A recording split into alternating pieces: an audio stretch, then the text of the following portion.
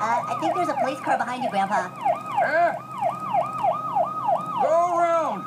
Go around, you moron! Blue Impala, pull your vehicle over! I believe that's us. Thank God.